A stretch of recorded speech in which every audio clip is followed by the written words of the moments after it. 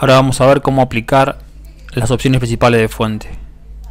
Marco la palabra, botón derecho, fuente, tengo para cambiar el tipo de fuente, algunos estilos de fuente, tamaño, si el tamaño no se encuentra se puede escribir, color de fuente principal y una paleta donde se encuentran más colores de fuente posible, subrayado, color de estilo de subrayado y algunos efectos. Luego tengo la vista previa donde veo si me gusta cómo queda aplicado en principio el formato y acepto.